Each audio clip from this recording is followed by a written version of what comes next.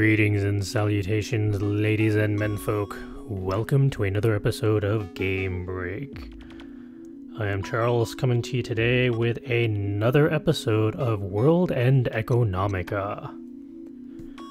Now, last time round, as I remember it, we actually managed to figure out a possible plan of what to do with this uh, financial challenge but we ran out of time before we could actually try it out. Now, I'm hoping that's what we do today, but I don't know. We'll have to find out. We'll just have to play and see where the story takes us.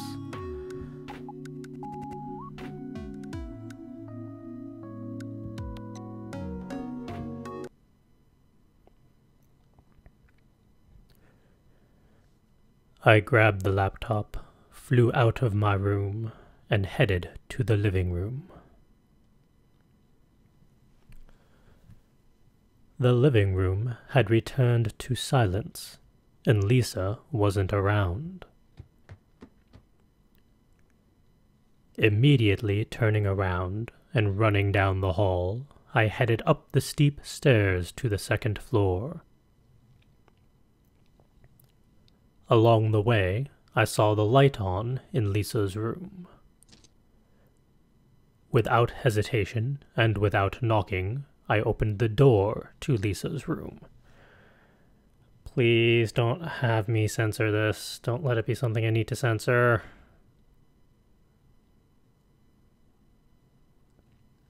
A surprised Lisa turned around. She was in the middle of taking a few books from the shelf.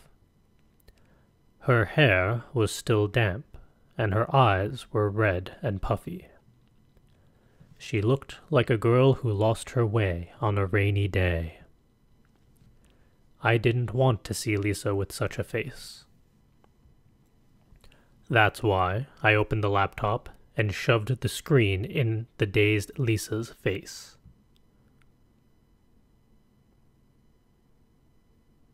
Yeah, that would be my reaction as well in that situation. Like, the hell is this? Why are you showing me this? There's a way. Lisa sniffled like a kid. I want you to convince Hagana. Huh? I want to borrow her talents.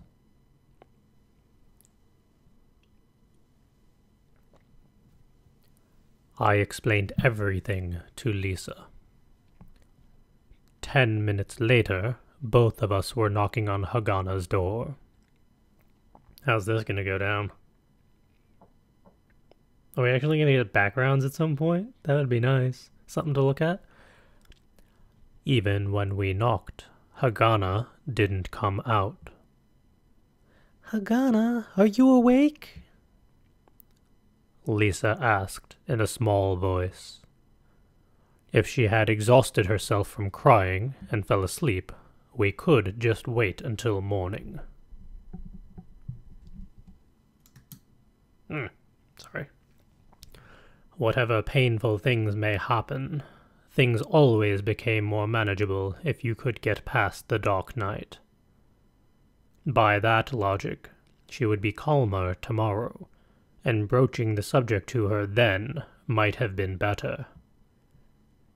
That's what I was thinking. But after Lisa knocked on the door and called out, she put her ear by the door softly. At that moment, her expression changed.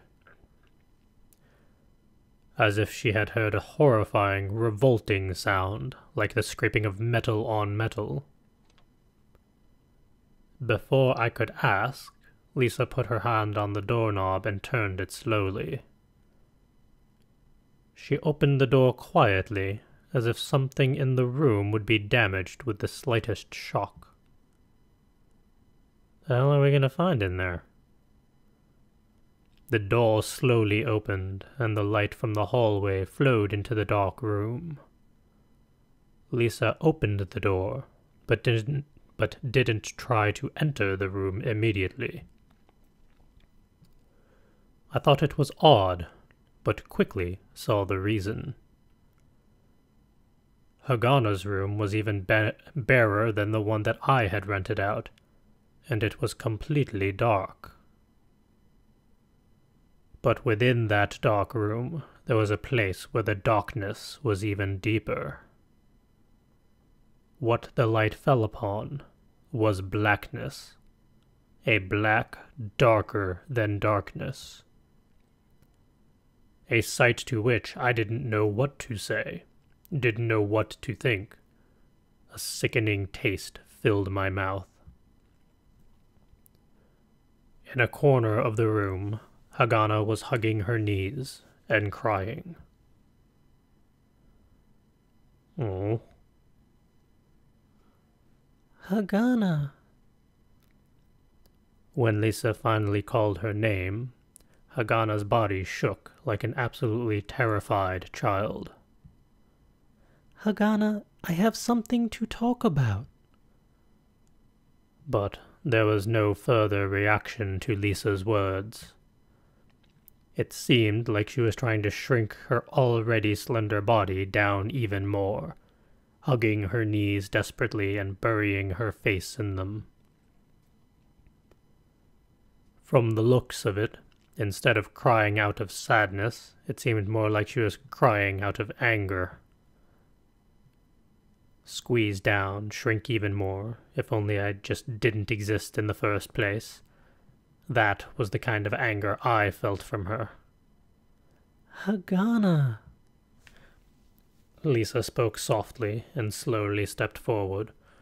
It wasn't a big room, so she was in front of Hagana in a moment. Hagana's body quivered, then changed position. I had thought it was impossible for her to get smaller, but she pulled her feet in tightly, pulled her head down more, and then moved her arms from her knees up to cover her head. So? Huh? I'm so. Hagana was shaking, so much that I could see it all the way from the door.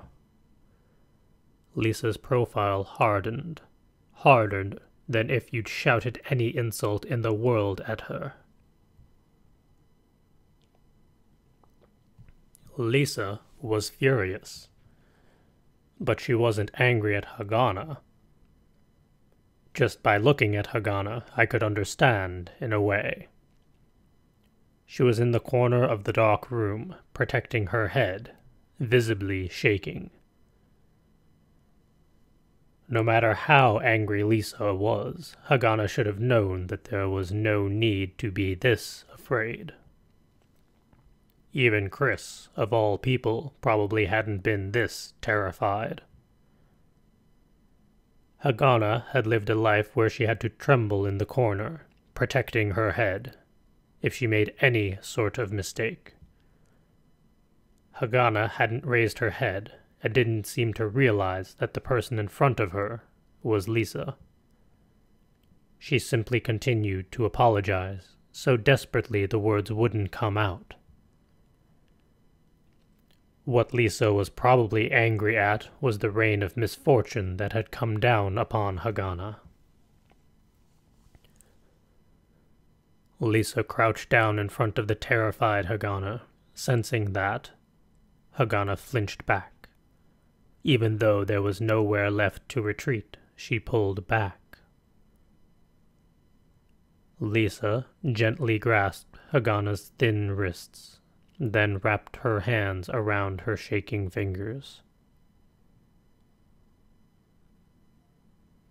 Oh. Hagana, it's okay.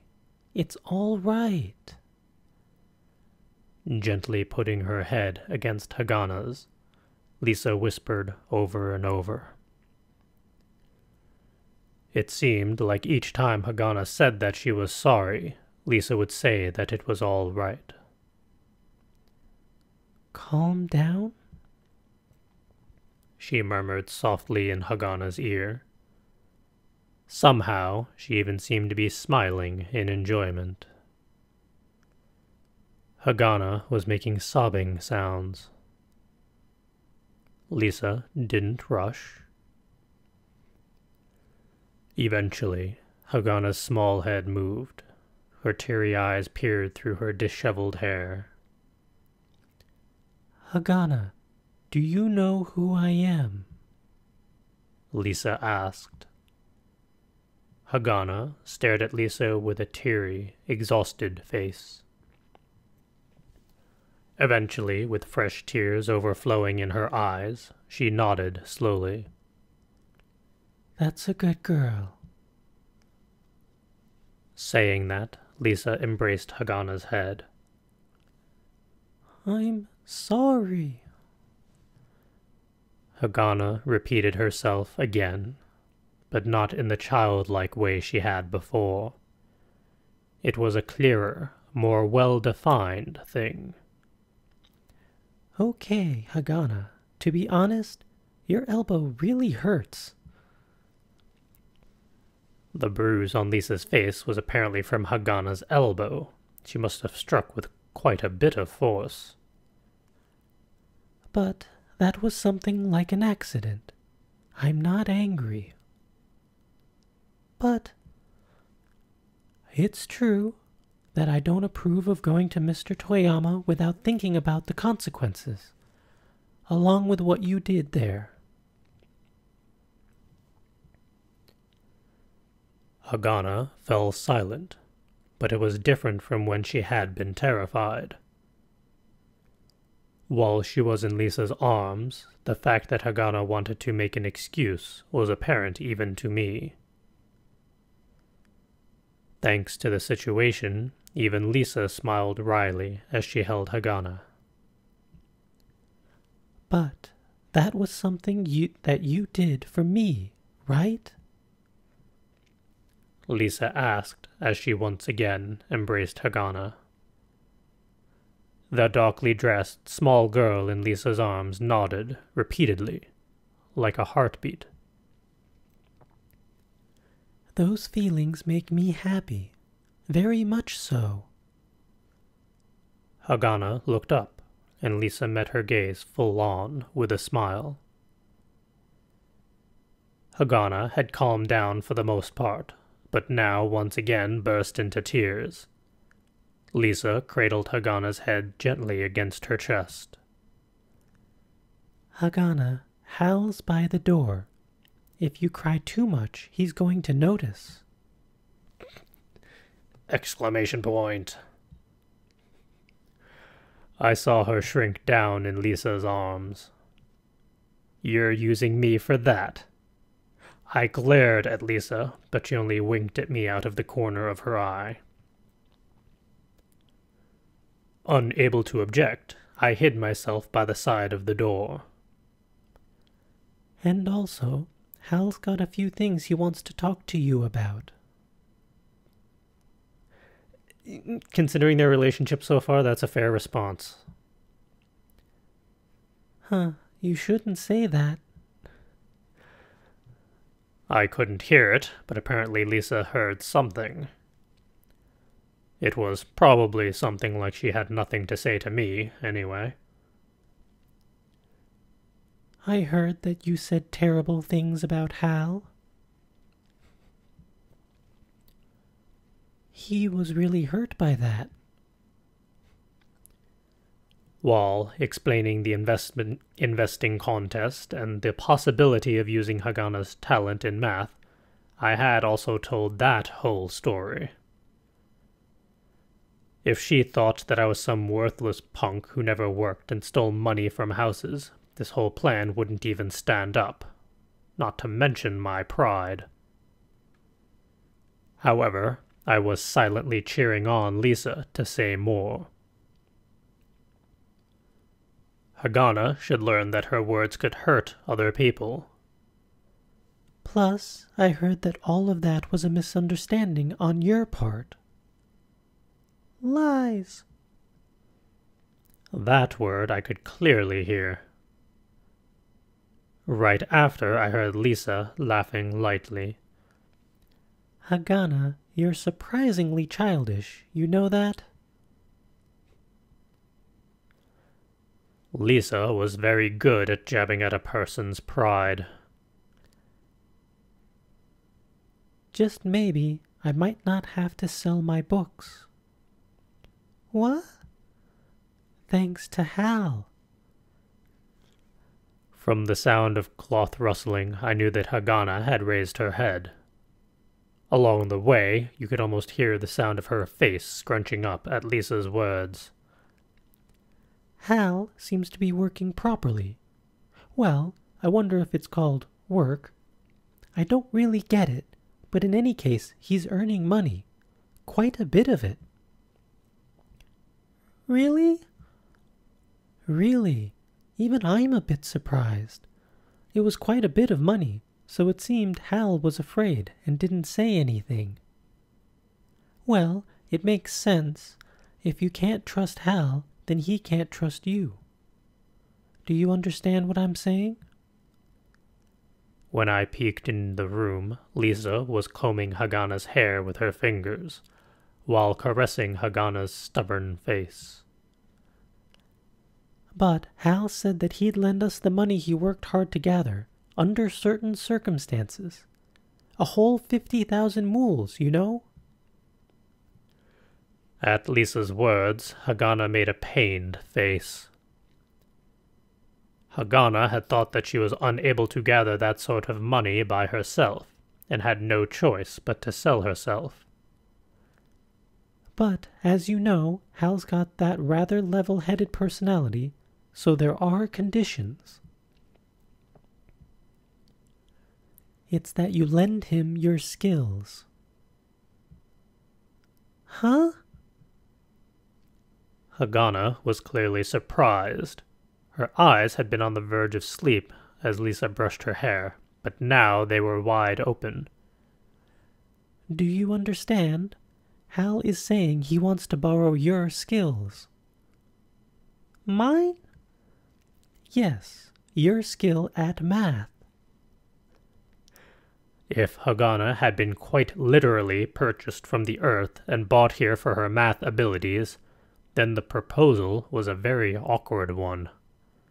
But I had absolutely no intention of saying I wanted to buy her powers. Lisa had also confirmed that point very thoroughly with me. It seems that he wanted to say it much sooner.